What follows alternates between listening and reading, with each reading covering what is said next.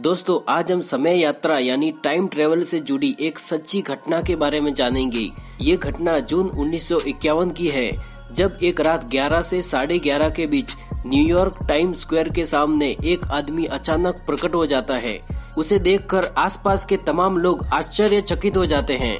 उसकी वेशभूषा वहाँ के सभी लोगों से भिन्न थी, क्योंकि उस व्यक्ति ने 1800 सदी के कपड़े पहने थे, और वो व्यक्ति भी आसपास का माहौल देखकर हैरान और परेशान हो गया। वो घबरा गया। मानो जैसे उसे लग रहा हो कि वो किसी अलग ही दुनिया में आ गया है। इसी बीच वो कुछ समझ पाए। तब तक उसकी ओर तेज़ी से एक टैक्सी आती है, और उसकी उस दुर्घटना में मौत हो जाती है। फिर उसकी लाश को पोस्टमार्टम के लिए मुर्दाघर ले जाया जाता है।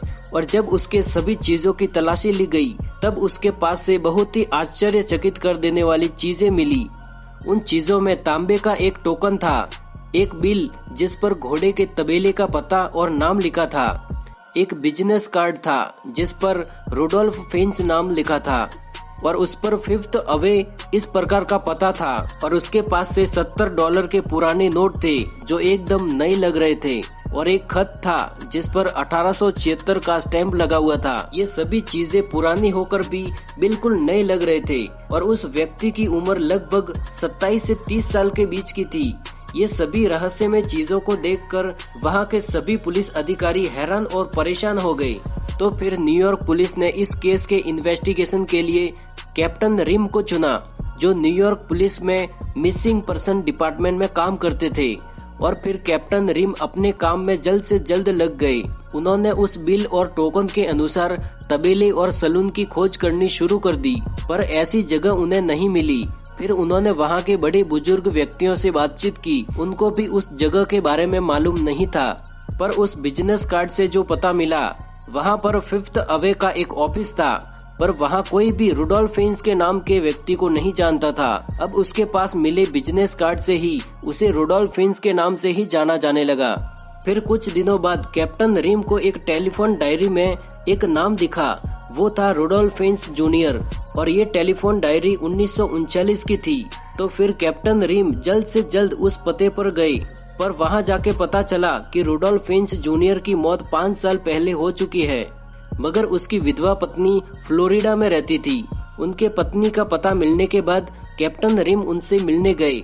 तो फिर रुडोल्फिन्स जूनियर के पत्नी ने जो बातें बताई, वो बहुत ही चौंका देने वाली थी।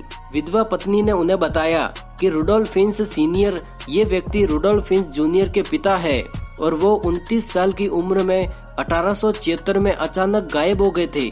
उस विधवा पत्नी ने बताया कि एक दिन शाम को वो सड़क पर घूमने गए थे। उसके बाद ना ही वो घर वापस आए और ना ही उनको तब से किसी ने देखा।